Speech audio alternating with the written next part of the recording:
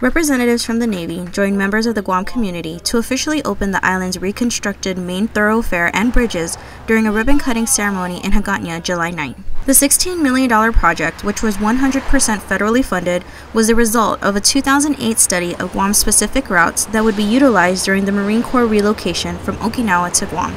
The Department of Defense provided a $50 million grant to the Port Authority of Guam and approximately $40 million for the Defense Access Roads program to improve Guam's highways. That's a total of $90 million for off-base infrastructure improvements. This was the Department of Defense working on outside the fence contracts. I look forward to Guam being a host towards the military forces of the United States to keep peace in this part of the world. From Joint Region Marianas, I'm Joanna Delphin.